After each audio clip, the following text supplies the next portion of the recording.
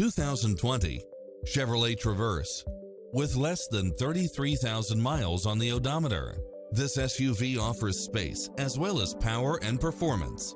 It was cleverly designed with details that delight any driver, such as cross traffic alert, lane keeping assist, side view mirrors with turn signals, lane departure warning, Wi-Fi hotspot, satellite radio, navigation, premium sound system, multi-zone air conditioning, blind spot monitor, all-wheel drive, parking aid sensor, third row seating, heated side view mirrors, leather seats. This is a top rated dealer. This stylish, long lasting ride won't last long, so hurry.